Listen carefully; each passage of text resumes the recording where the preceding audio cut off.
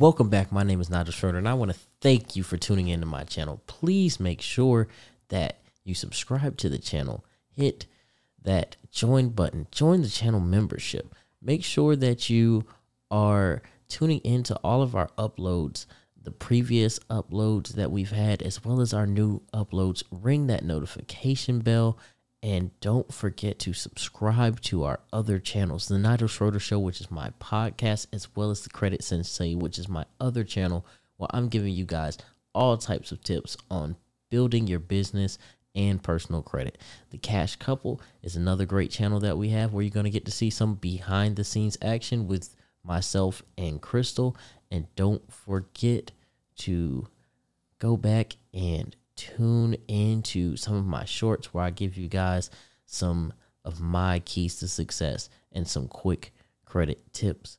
Check out our playlist as well as our previous live streams. And with that being said, go ahead and sit back and prepare for the show.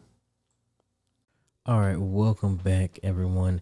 And today we got asked a good question, which was are minors able to open accounts with Navy Federal Credit Union? And if they can, how can they do so? So, with that being said, um, basically, minors can open up bank accounts with credit unions.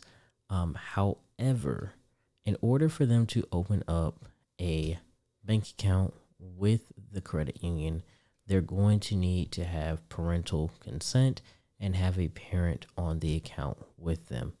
Meaning, um, if you are under the age of 18, um, you are not going to be able to open up your own bank account with Navy Federal by yourself, but you are able to do it with a parent.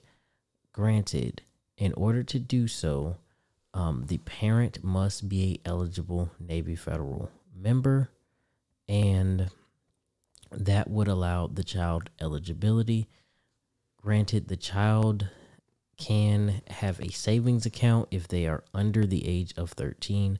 However, um, they must be over the age of 13 in order to open up a checking account with Navy Federal.